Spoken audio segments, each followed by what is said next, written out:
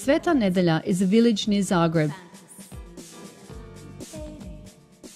a place of old traditions and state of the art technology. Rimac Automobili, a car manufacturer, produces the vehicles of the future. Its young owner has been winning world competitions ever since high school. Sve je u biti krenulo kao hobi još dok sam bio ono, tek položio. It all started as a hobby when I graduated.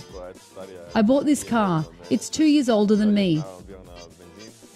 It was gas powered. I used it for car racing. One day, the engine exploded and we had to replace it.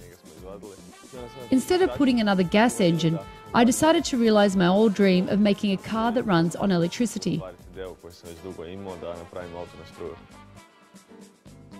Rimac started making his first electric engine four years ago. As his team improved the model, it became faster, lighter, and more reliable. Until it was the most powerful electric engine in the world. S njim smo skinuli neke svjetske rekorde. This engine broke some world records. Then we decided to design an electric car from scratch instead of using a BMW body.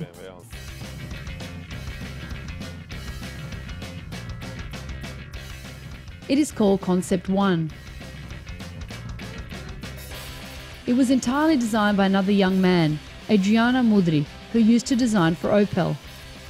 Dao sam mu dosta slobode, ali sam naravno isto jako pazio na to što radi. I gave him a lot of freedom but supervised his work. While he designed the exterior, we developed the mechanical parts. Our cooperation resulted in this beautiful sports car.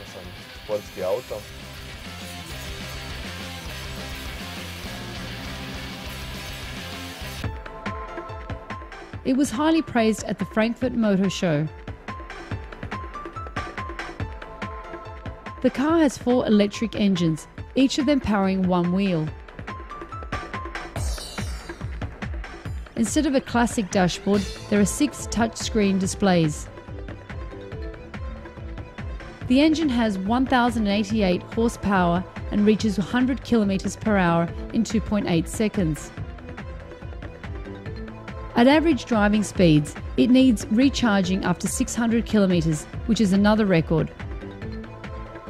Kažemo da naši kupci neće pitati za cijenu. Our customers won't ask for the price because it will be an exclusive car like Pagani, Koenigsegg, or Bugatti.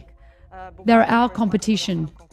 Ovo tu nije najjednostavniji način da se zaradi. This isn't the easiest way to make money.